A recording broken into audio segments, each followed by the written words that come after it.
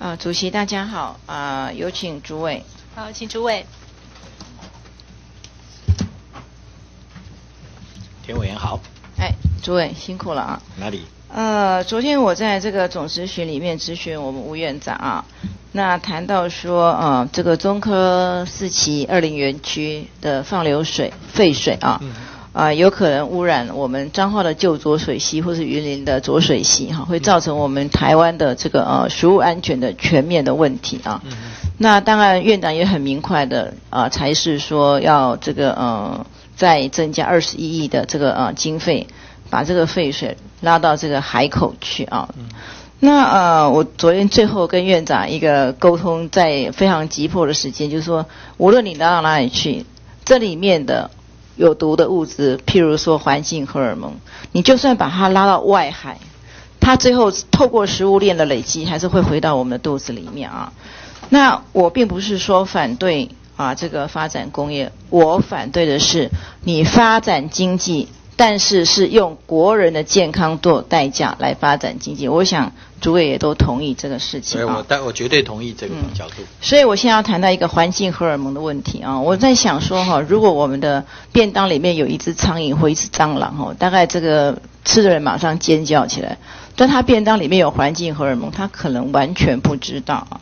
根据阳明大学这个环境生物研究所的这个呃毛一芳教授跟陈美莲教授他们的调查，而且呢是这个前不久的调查啊，他们到超市去啊买了这个鱼、猪肉、牛肉啊、鸡肉、鸭肉、鸡蛋、蔬菜和米哦，动植物都有哦，二十五种的生鲜食物，买了超过一百样的这个一百件的样品，结果发现哈这里面哈百分之九十八的食物。都含有哈会破坏人类生殖系统的环境荷尔蒙，特别是人基酚。这个是在我们的这个清洁剂，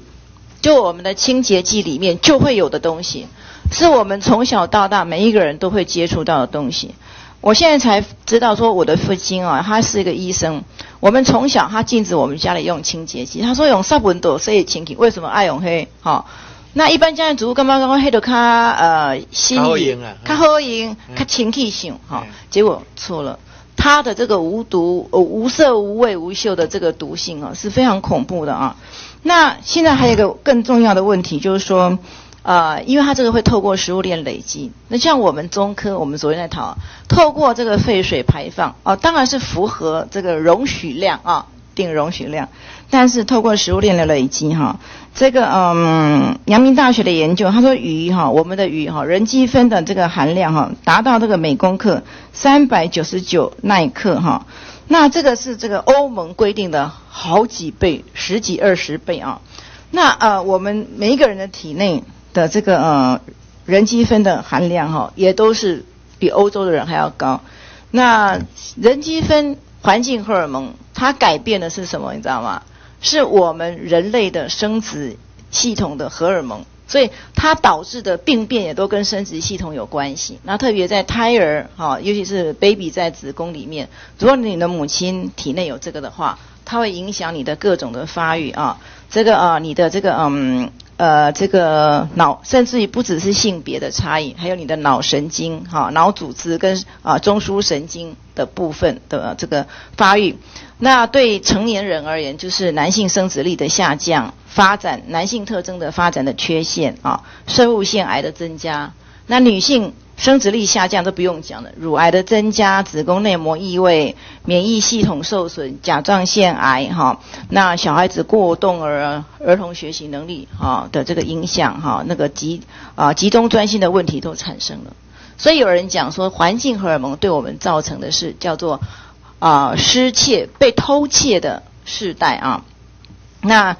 这个一九九九年，美国小儿科学院就。出版了哈小儿科医师环境健康手册，要全美国的小儿科都要注意这个问题。那也将环境危害对婴幼儿的风险列入环境影响评估非常重要的项目之一。所以现在就是说，昨天我知道我们消保会也开了有关环境荷尔蒙的这个呃研讨会，很抱歉，因为昨天环保署那边起了冲突，又总咨询就没有办法过去。不过我有送书面资料。我现在就是说要拜托主委啊，因为现在。身为副院长啊，对，那个我们的至少哈，这个千千八板行啦，这个环境荷尔蒙所牵涉到产品是千百万项，至少你从一样先做起，就是说我们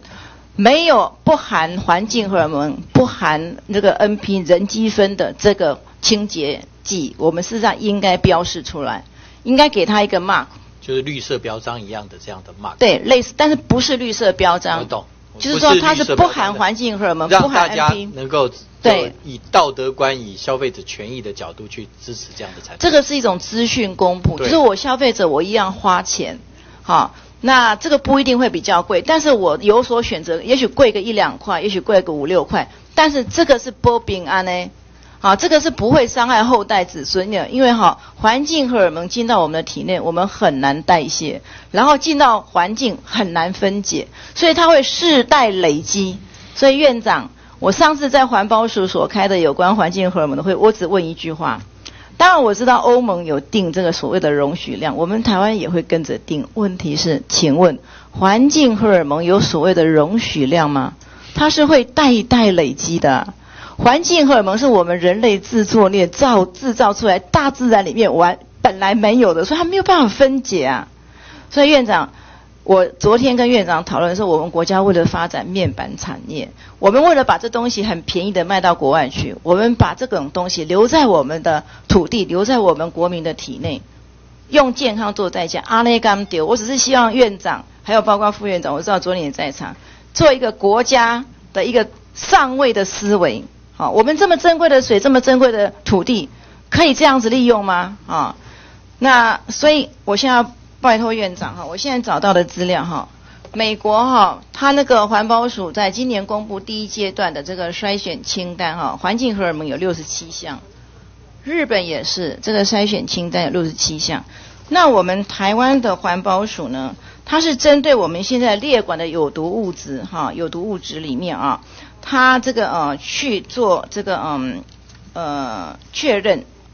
啊，所以呢，我们就是两百五十九种毒性化学物质中，他确认是二十四种具有环境荷尔蒙的特性啊。但是我就觉得二十四种跟六十七种啊，确实是差很多了啊，差很大。所以昨天院长啊，在我的总咨询一讲之后呢，环保署那边哈，他们这个呃环评委员哈，就列了一个比其他科学园区还要。啊，这个严谨的要求，但是呢，我是觉得还是不够，所以，啊，这个主委，我想拜托一件事情，就是说我看到我们的公部门，嗲嗲公人挂够进户已经走过研究，他们非得自己再做一次才愿意公布。我是觉得外国人的结构跟我们实际上都一样，哈，所以到外国去学医生，实际上回来嘛，先一当跨栏台湾人，哈。所以我是觉得，既然美国跟日本政府已经公布的，我们台湾就跟着做，这个有没有很大的困难？我想只先做一个检视啦，不是说请这些金阁诶气验哈，检视之后。看，如果实际上跟我们的差距是有限的，或非常小的，我觉得直接参照国外的一些经验就可以做了，不一定很多事情一定要完全自己来做了。这一点我我很同意了。就我们很多都喜欢说，人家做了啊，残酷点啊，还要自己再做，浪费这个相关的时间。还有第二个就是我非常非常肯这个这个对于这个委员对国内环境荷尔蒙的管理机制的要求啊。我个人非常感佩，这个真的是非常重要的。那至于说我们怎么样的快速的定定这个机制，我我会来协调环保署尽快的来做成，好不好？谢谢。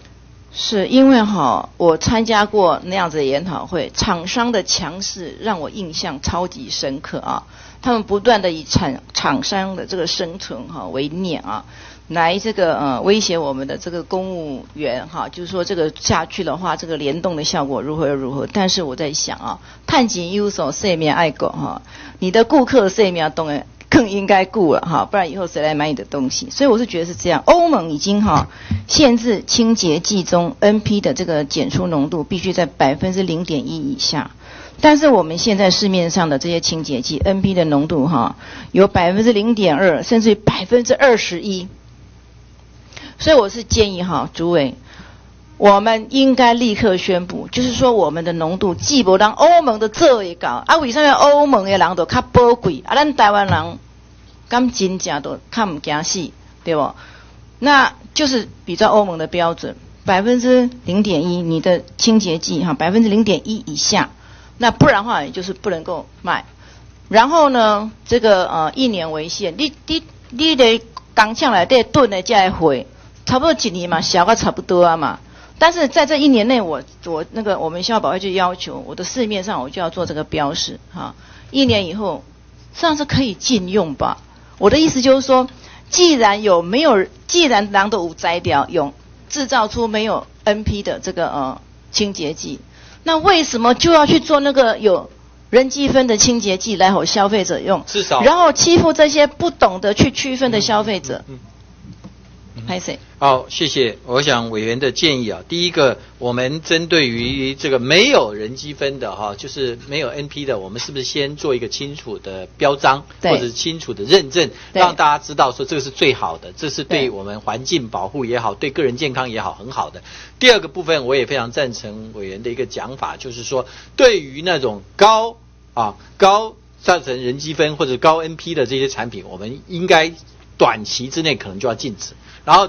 另外比较低的部分的话，我们要怎么样定出一个逐渐改变的一个改改改善的一个机制，我们再让环保署去研商，好不好？还有一点哈，署长，因为那个林口长庚医院这个呃林杰良主任他已经讲了哈，欧盟对河川的那个水的 NP 的浓度哈是每公升零点三三微克，哦，每一个微克是到百分之一百万分之一克，但是台湾的河川哈这个 NP 的浓度是超过欧盟警戒值的十到二十倍，所以为什么我们的淡水鱼，包括我们的米里面都有人积分？因为我们就是这个东西就是自作孽不可活，这最后还是回到我们体内我们的肚子，好，所以在这个方面是不是我是说，包括环保署在那个河川水的那个也都应该做全面流布的检验，全面的来做这个。不只是人积分，人积分只是很其中的一多种环而已对其他的这个环境荷尔蒙，实际上都应该做相关的流布的啊、调查，然后才有办法做风险评估，